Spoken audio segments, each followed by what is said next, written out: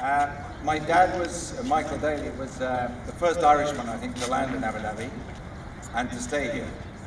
Uh, he made it his home for 49 years.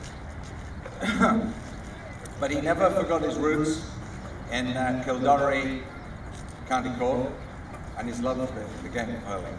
So it gives me great pleasure tonight to present the Michael Daly Memorial Cup to the, to the champions, Abu Dhabi St. Patrick's.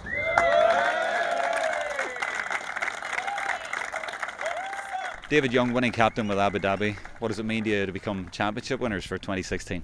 Uh, you know, I like it was mighty, just a great year. Um, you know, we fought hard a couple of tournaments. We were we just got pipped at the post by Dubai. You know, they won out the league and we fought hard and you know we, we won the Al tournament. You know, so last tournament was over in Dubai and they they bet us. So we kind of you know put the head down for the last few last month or so and you know we, we came up trumps in the end. Like you know, so uh, it's, it's mighty. Like you know and it's great to be out here, um, home away from home, you know, and and and to keep the sport going, you know, to keep it alive, and, and, you know, it is it brings you closer to home, and you know, you grow up playing GAA, like you know, and you meet, and it's great to come out and meet all the Irish and make new friends, and you know, it's it's um, it's been a great year, and you know, we've we topped it off at the end, so it's good.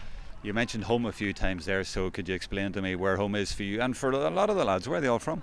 Yeah, there's there's kind of a, a mix mix it's a mixed bunch of us. Like I'm from uh, Tipperary, Tipperary. There's a few Tipperary lads, a few Thurles boys with us, and you know it's a few from Cork, a few Kilkenny boys. So they're trying in the mix as well. So there's a bit of rivalry there among among the setup as well. Like so, different parts, different parts. You know, a few from Carlow as well. Like you know, so uh, it's great. You know, you wouldn't meet them at home from one end of the year to the other. Like you know, and you come out here and you you pick up the hurley, you have a few pucks, and you know, it's just great. Like so.